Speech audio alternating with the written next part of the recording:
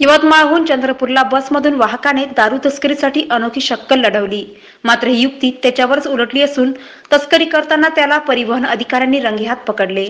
यवतमाळ चंद्रपूर बस क्रमांक M H चाळीस.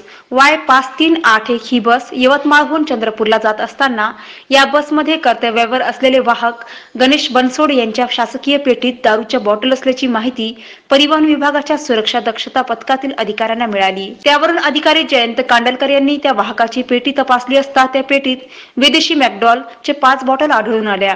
तत्काळ परिवहन अधिकाऱ्यांनी शहर पोलिसात वाहकाला दारूच्या बॉटलसह ताब्यात देऊन त्याच्याविरुद्ध तक्रार दिली. या तक्रारीवरून शहर पोलिसांनी गुन्हा दाखल केला असून पुढील तपास सुरू आहे.